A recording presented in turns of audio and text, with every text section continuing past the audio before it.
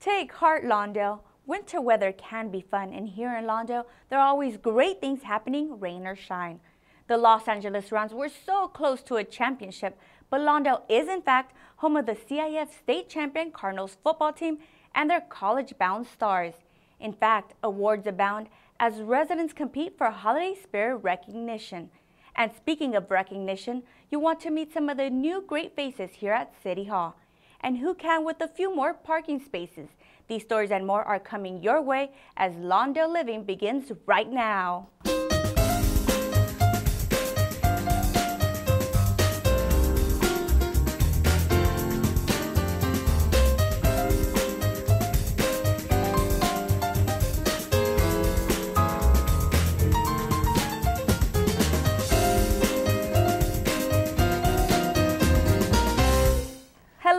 Welcome to Lawndale Living, the show that features everything Lawndale. I'm your host, Jennifer Murillo. While the Christmas holidays are but a distant memory for most folks here in Lawndale, the spirit lives on as the city's beautification committee recognized some of the great residents who did the best to decorate their homes for the holidays. Our Lawndale Living camera crew was there to bring you the spirited story. We're having our beautification awards for our decoration contests over the holidays. And our beautification committee went through the different categories for the decorations that were done through the, through the year for the season and just had a wonderful time with the families that joined and participated. I'm getting an award for decorating my house for Christmas. It feels good because this is where I live and I feel good to represent the city I live in. We graciously had just received the award for the most outstanding um, on the Christmas home decorations. Very humbled, first of all, excited. Um, we put in a lot of time, uh, effort, and my darling, darling and I, we did it with a lot of love. It doesn't matter what time of the year it is. So this one was a focus specifically on the holiday season and that type of activity, but Beautification Committee runs so many things through the city. And it's important for us to recognize the folks that are actually participating so that we can encourage others to get in.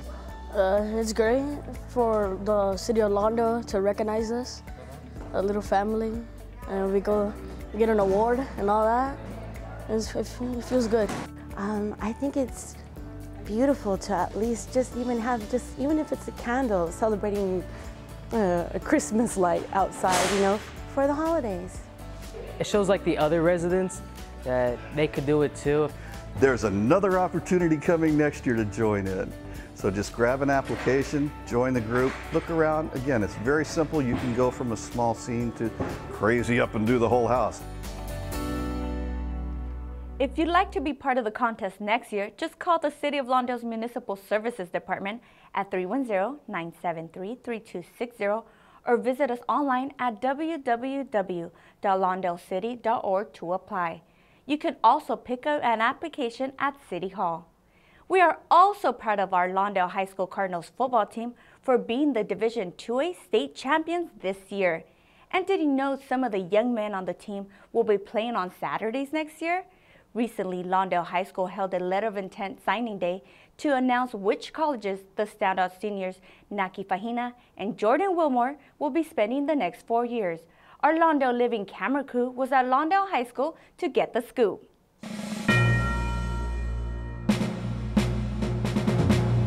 Today we are celebrating two of our other fun athletes, Mr. Naki Fahina and Mr. Jordan Wilmore.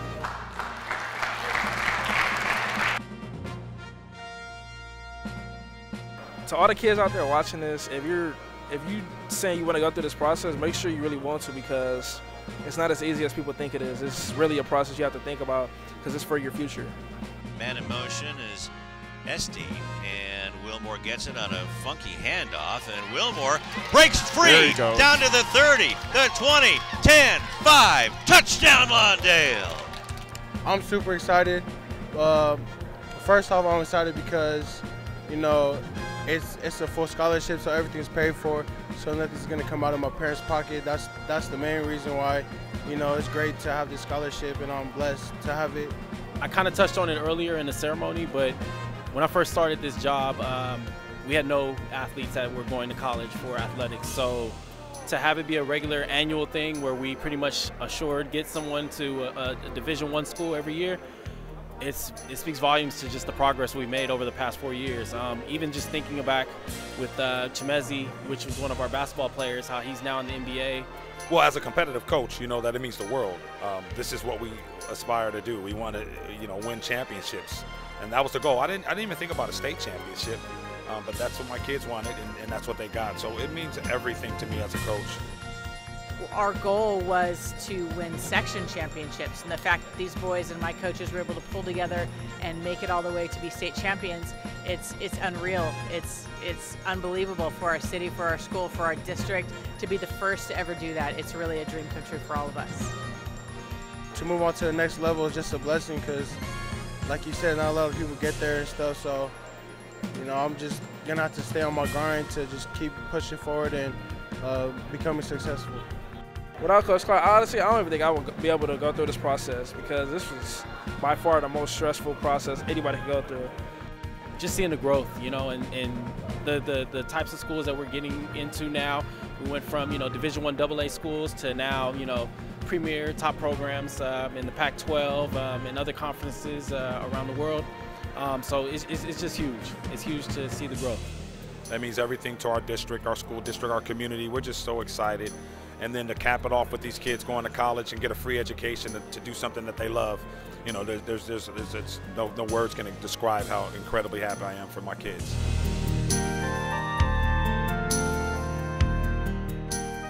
We salute Coach Travis Clark and we wish Naki and Jordan the very best over the next four years and plan to watch them on TV as they move their games to Saturdays. You may have noticed a couple of new faces at City Hall over the past couple of months. The city recently hired two new directors to take over the reins of the Municipal Services Department and the City Clerk's Office, and we'd like for you to meet them. First up, Michael Reyes.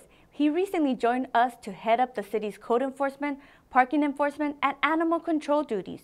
Our Lawndale Living camera crew caught up with Michael to discuss some of the things we can look forward to in the coming months.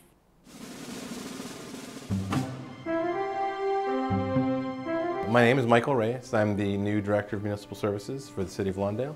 I've been working in the public sector for a little over 20 years. My role, what I want to do, in addition to providing enforcement, is also provide information and understanding of what we do. So I would like to increase the, the community policing presence here. I do want to um, develop a relationship between law enforcement, my staff, and the community to kind of improve um, relationships. Um, communities that thrive are the ones that, that have a relationship with the residents. Three of the aspects of the Municipal Services Department are animal control, parking control, and code enforcement. Those are the three primary branches of what we do. Um, each of them has their own responsibilities and roles. Uh, parking obviously is going to be pretty self-explanatory. People understand what the role of parking is. Um, animal control, again, pretty simple. We're monitoring registration for, for domestic animals and also to make sure that the, the safety of the animal is, is secure as well as the public. Um, code enforcement is probably the one that's the most confusing. People don't always understand what code enforcement is. They don't understand why they would need necessarily permits for things, why do they need licenses for things. Um, and again, all that speaks to the safety of the community and to regulate that, to see that people are doing the things that the community has already shown to be their values. We answer to the council, obviously. The council it represents the community and we are public servants, so our role is to, to serve the public. If you'd like to find out more about the Municipal Services Department, you can always call Michael at 310-973-3260 and he will be happy to answer any questions or issues you have. Next up is Matthew Ceballos, the new Assistant City Clerk. Matthew has penchant for getting things done and he enjoys meeting and helping people. Managing all the paperwork at City Hall is a formidable task, but Matthew is up for the JOB. Our Lawndale Living camera crew caught up with Matthew to see some of the great new things he has planned for Lawndale.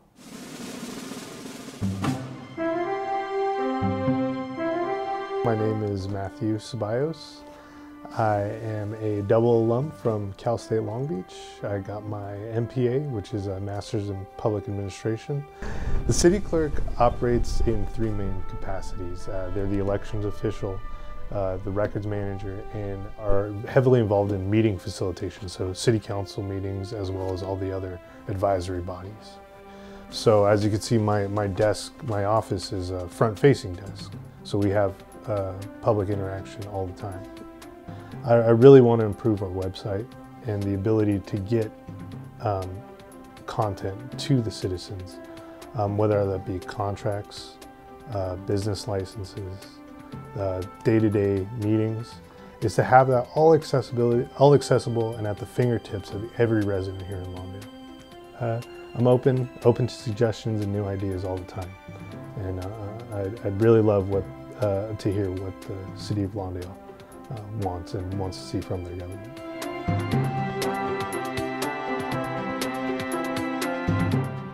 If you have any questions or concerns, Matthew can help you with the process and get you what you need when you need it. So give him a call at 310-973-3211. One plan that is happening right away is the construction of the new posting board in front of City Hall.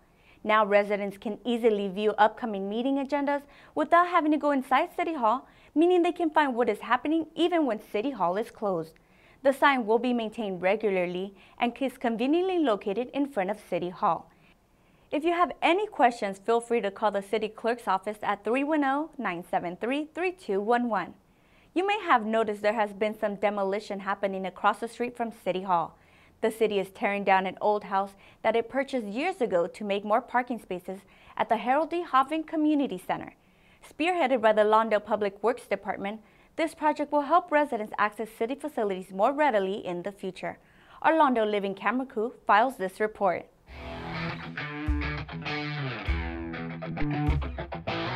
Um, this project happened as a result of the development of the community center a few years back, and this is the final phase of the project, the, which will include parking, landscaping requirements, and a new block wall. Originally here for many years, there was a two-bedroom, one-bath house, a small post-World War II home that has been since demolished, and now uh, the contractor will be coming forward and developing, uh, putting in the landscaping uh, improvements as well as the asphalting for additional parking stalls. So when folks come in the community center, there's additional parking available.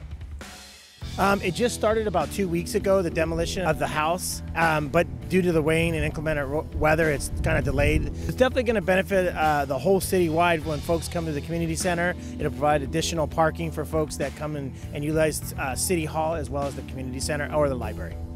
I foresee this being done in the next few months and completed and, and finalized.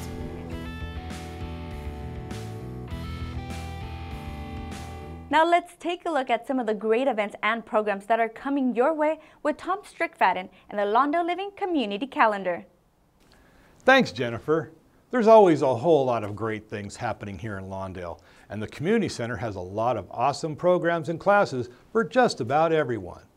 For instance, did you know that we have a wide variety of dance classes for all ages, such as tap, jazz, ballet, hip hop, line dancing, and Mexican folklorico dancing. And we have a lot of other great classes such as kids cooking, gymnastics, music, and martial arts. Plus there are youth sports programs and a game room for teens and adults. So come on down to the Harold E. Hoffman Community Center right here at Civic Center Plaza and join a class today. We've got a number of great events coming up in the months ahead, such as Spring Cleanup Day and Spring Cleanup Week. Here's your chance to clean up some of the junk you've been wanting to get rid of with curbside recycling on your trash day and free garage sale permits. You can also help volunteer with the walking cleanup crews to pick up trash along the streets and get a free hot dog from Wienerschnitzel just for helping out. For more information, call the Municipal Services Department at 310 973 3220 or visit us online at www.lawndalecity.org.